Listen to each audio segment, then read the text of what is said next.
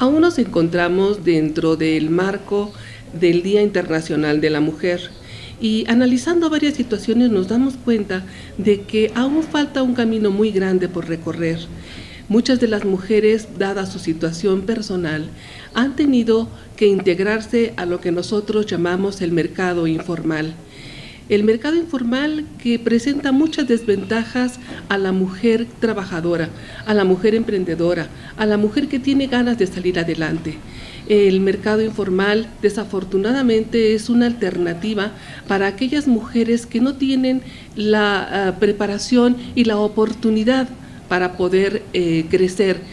Por ejemplo, nos damos cuenta que en la Ciudad de México el 60% son mujeres quienes se encuentran vendiendo en la calle de manera informal. El ambulantaje se ve incrementado cada vez más. El temor de que las mujeres se vean, eh, que ingresen al comercio formal, pues es muy grave porque no tienen la confianza suficiente para poder integrarse a este mercado que las puede ayudar a crecer en lo personal y en lo familiar. ¿Cuáles son los bloqueos que se tienen? Desde luego el primero es el temor. El temor de que si se vuelven formales, pues sus ingresos se van a ver mermados, cuando en realidad no es así. Mm, una mujer que tiene la capacidad para crear un negocio y se encuentra de manera informal puede tener la oportunidad de crecer para empezar si toma conciencia de que ese crecimiento le va a dar el, eh, el, ingreso necesario para poder sostenerse y sostener a su familia, ya que la mayor parte de las mujeres que se encuentran en el comercio informal son jefas de familia, son mujeres que tienen hijos y que de alguna manera buscan que esa familia pueda salir adelante con lo que ellas ganan debemos distinguir dos tipos de comercio informal en las mujeres. El comercio informal de la mujer que necesita trabajar y necesita llevar el pan a su casa como jefa de familia y aquellas mujeres que de alguna manera han encontrado, hombres y mujeres, un modus operandi para poder tener un ingreso. ¿Qué es lo que sucede? Bueno, ese bloqueo del que hablaba hace unos momentos es, en primer lugar, el temor, el miedo a que sus ingresos no sean los mismos si se da de alta. Pero cuando toma conciencia de que esa dada de alta le va a ayudar porque va a poder va a tener la oportunidad de generar mejores ingresos porque va a tener una capacidad de producción mayor, se va a dar cuenta de los beneficios que tiene de entrar al comercio formal. Por ejemplo, una mujer que en la calle vende bolsos o que vende accesorios, pues simplemente está sujeta a que lo que requiere en esos momentos, pues es lo que va a sacar al día al día y no va a tener oportunidad de crecer porque estará viviendo simplemente al día.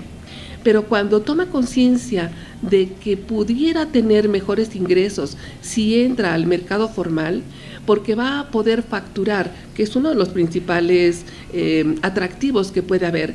Como persona moral o como persona física, va a poder otorgar facturas y va a tener oportunidad a que aumenten sus ingresos de acuerdo con la clientela que vaya haciendo ya va a dejar el día a día. No es fácil, desde luego que no es fácil, porque en cualquier comercio o en cualquier negocio que se inicie hay que trabajar mucho, pero las ventajas eh, están inscritas en la legalidad.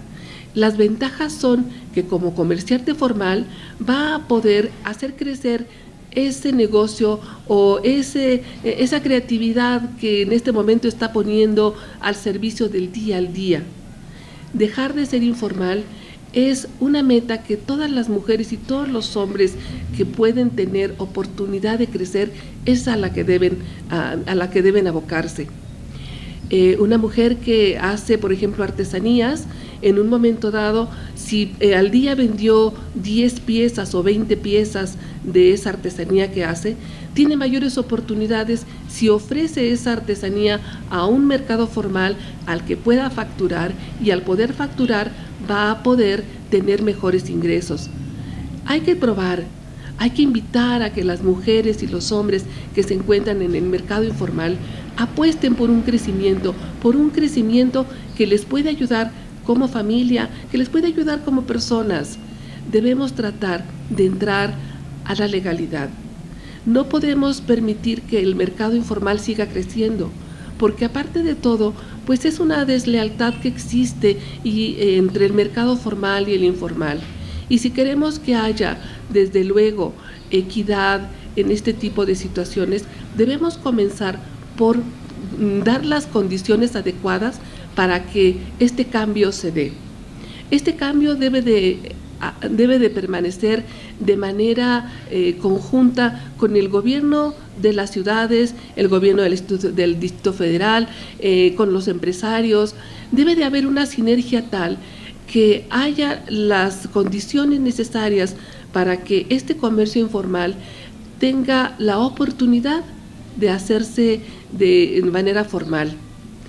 Eh, las mujeres que trabajan en este ámbito son mujeres dignas de mucho reconocimiento, porque todos tenemos el derecho a trabajar y desde luego una mujer que trabaja en estas condiciones sabemos que trabaja de una manera muy dura.